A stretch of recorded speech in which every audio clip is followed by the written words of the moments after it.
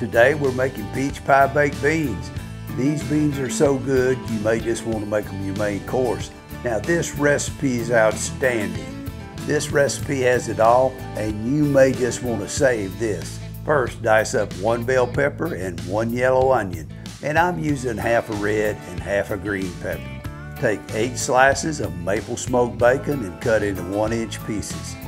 Next, I'm browning one pound of breakfast sausage in my Dutch oven. My sausage just happens to be deer sausage.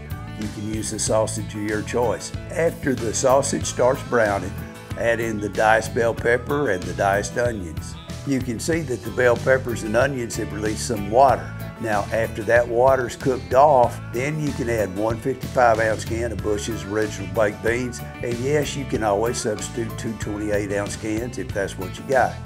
Now add one can of Lucky Leaf peach pie filling, one cup of your favorite barbecue sauce, two tablespoons of your favorite barbecue rub, one cup maple syrup, one eighth cup of Worcestershire sauce, one teaspoon apple cider vinegar, one tablespoon spicy brown mustard.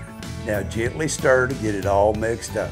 Take your bacon pieces and arrange them on top to cover up the beans. Cook in your oven or smoker uncovered at 275 degrees for three and a half hours with the bacon on top. Just look how great they look. Oh, and they taste wonderful. Enjoy. You can find the complete recipe and the cooking instructions at Paw Daddy's Blind Hog Barbecue at YouTube.